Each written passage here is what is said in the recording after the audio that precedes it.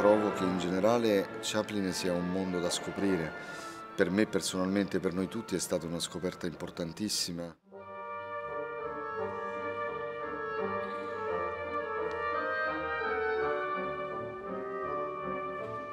Produceva i suoi film, li scriveva, li musicava e questo trovo che sia veramente una dote forse più unica che rara.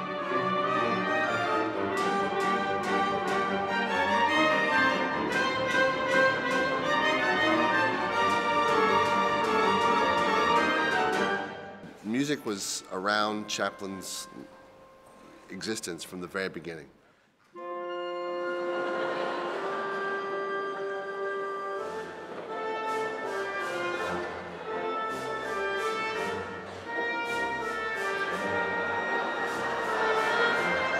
And then he became part of the eight Lancashire Lads as a clog dancing troupe.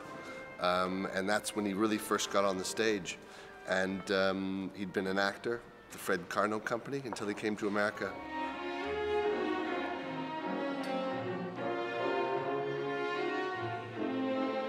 We're finding all sorts of new things all the time, uh, new parts of his life that we try to piece together, both musically and not musically.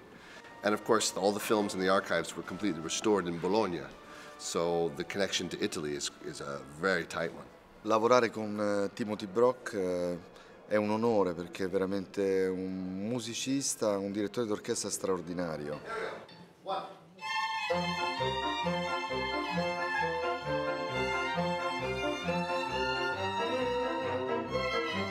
Sound film music is a part of a much larger span or array of motion picture tricks, whereas silent film is really everything. It's dialogue, sound effects, all sorts of accompaniment that really produce the motion picture experience through music. And of course, you've got the visual correspondence to what's happening.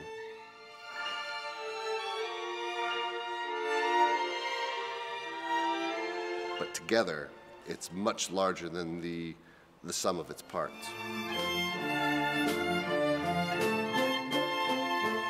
Working with the Orchestra Italiano del Cinema is a great uh, experience too because they're obviously specialists in film music, but they're also just so intense on on getting the the type of Chaplin, the music that Chaplin wrote, just right.